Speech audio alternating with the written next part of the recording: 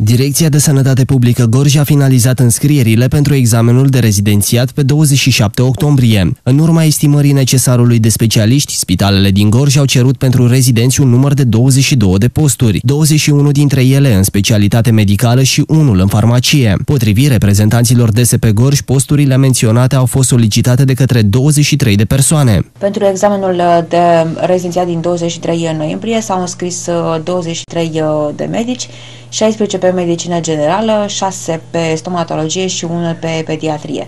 Uh, locuri uh, pentru acești medici uh, există la Spitalul Turceni, avem post de pediatru, farmacist, psihiatrie, la Spitalul Târgu Jiu anestezie, chirurgie și neurologie infantilă.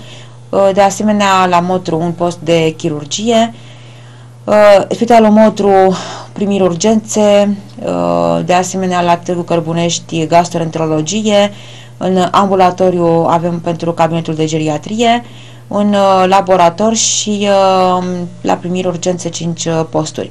De asemenea, un post de neurologie pentru um, acești medici la Robinari și la Bumbești Jiu pentru pediatrie un singur post. Examenul de rezidențiat va avea loc pe 23 noiembrie și se va susține la Centrul Universitar Craiova.